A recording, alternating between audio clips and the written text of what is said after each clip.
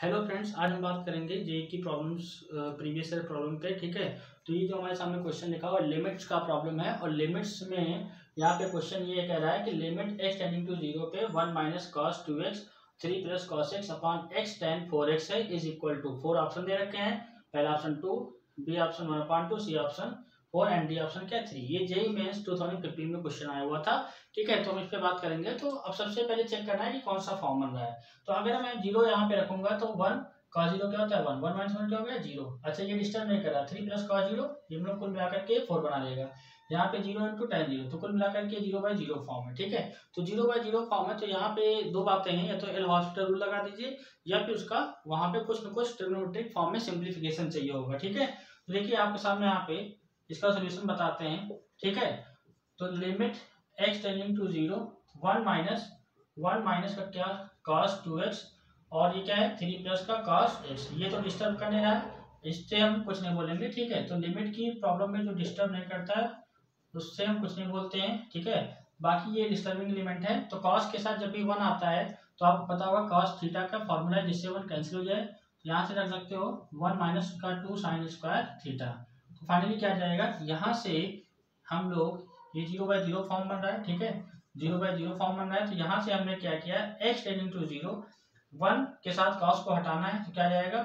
Formula लगा लीजिएगा तो क्या आ जाएगा? टू साइन स्क्वायर एक्स आ गया ओके और यहाँ पे क्या है? थ्री प्लस का कॉस एक्स आ गया। अपॉन में क्या बेटा? एक्स और ये क्या है? टेन फोर एक्स ओके अब देखो यहाँ पे इतना होने के बाद आप क्या कर सकते हो? थोड़ा सा सोचना है।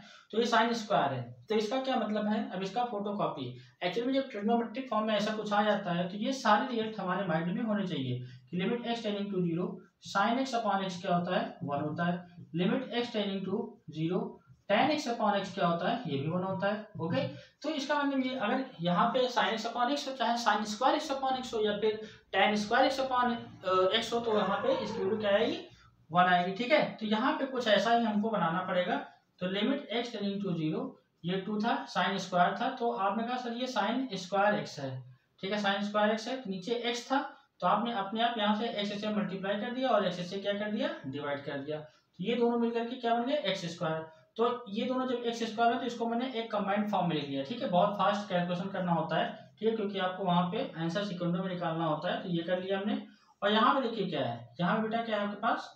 यहाँ आपके पास है टेन फोर एक्स है, ठीक है तो टेन फोर एक्स है तो ऊपर न्यूमिनेटर में एक्स बैठा हुआ है तो एक्स से मल्टीप्लाई किया, क्योंकि टेन का बनाना है। और यहाँ पे टेन के फ़ोटो कॉपी के लिए चार चाहिए तो आपने क्या किया? फोर से मल्टीप्लाई किया फोर से डिवाइड किया। देखो यहाँ बहुत ही फास्ट काम करना है, ठीक है? तो यहाँ पे इसकी वैल्यू कितनी हो गई? इसकी वैल्यू वन आ जाएगी। और यहाँ पे ये भी कितना हो गया? वन हो गया, ठीक है? तो फाइनली हम लोग पुटिंग द लिमिटिंग वैल्यू तो क्या जाएगा? टू ये इंटू वन आ गया वन का square into three plus cos zero cos zero हो गया। ये भी बेटा वन आ जाएगा, ठीक है? अपॉन में फोर बचा तो कितना आ गया? Two into one cos zero one होता है। तो यहाँ फाइनली क्या आ गया? थ्री प्लस का वन अपॉन में फोर तो फाइनली क्या आएगा two into one into four upon में फोर फोर से फोर कैंसिल कितना आ गया? टू आ गया। तो यहाँ पे ए ऑप्शन क्या हो जाएगा? आपका करेक्ट हो जाएगा। थैंक्स